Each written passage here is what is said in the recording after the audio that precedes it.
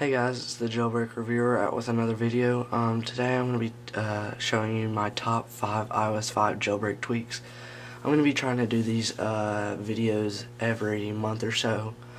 Um, so yeah, um, I'm going to be doing 5 and most of these have to go with Safari, but one's just uh, a tweak you can use on your keyboard and one you can use on your home screen.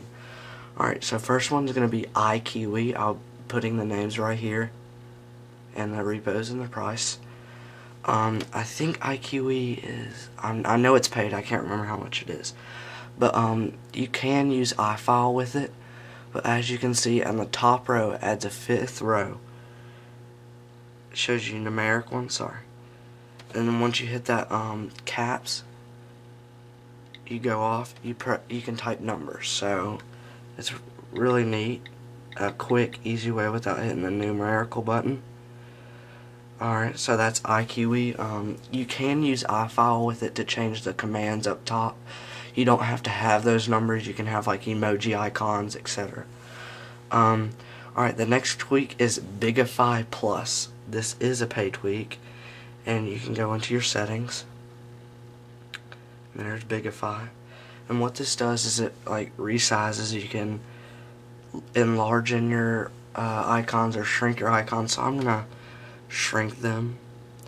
And what Plus does, it gives you previews and it also gives you a whole lot more content you can use. Um, so I'm to scale this down to about, say, 70.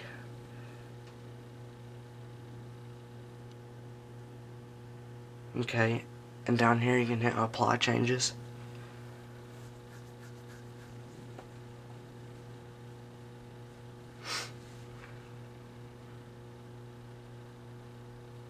Okay. As you can tell, the icons have shrunken. It's a neat tweak. It's nice to play around. Uh, just confuse your friends. Alright, the next one's going to be having to do with Safari, and it is called Homepage in Safari.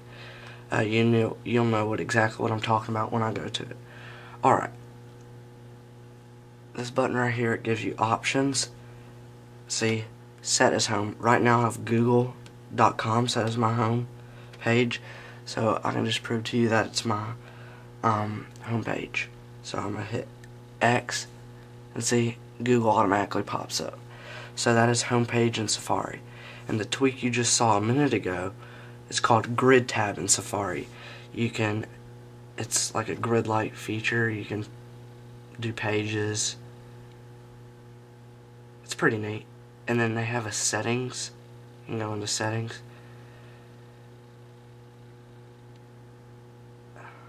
And you can either do 2 by 2 or 3 by 3 I prefer uh, 2 by 2 because it looks neater but you can go any way you want. There you go. And that brings us into our next week. It's called Tab Plus. Um, you can add as many uh, tabs as you want. I think you can add an infinite amount, but I'm not sure. I've never tried it. I've heard that if you add so much so much tabs, it sometimes crashes. So yeah, that has been it for this uh, video. Don't forget to comment, rate, and subscribe. Thanks.